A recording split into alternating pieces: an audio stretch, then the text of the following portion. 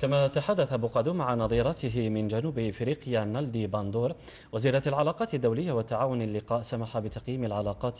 الثنائية وتناول سبل تعزيزها كما ثمن الوزيران مستوى العلاقات السياسية والتاريخية وكذا الشراكة الاستراتيجية التي تربط البلدين. كما تم الاتفاق على تعميق الشراكة الثنائية في مجال الاقتصاد والتجارة والارتقاء بها إلى مستوى العلاقات السياسية المتميزة استجابة إلى تطلعات وأمال شعبي البلدين كما أبدى الطرفان قناعتهما في تبني حلول السلمية ومبدأ الشرعية الدولية في القضايا الإقليمية والدولية الراهنة سيما التطورات الأخيرة التي تشهدها المنطقة بما فيها الأوضاع في ليبيا والصحراء الغربية ومالي ومنطقة الساحل.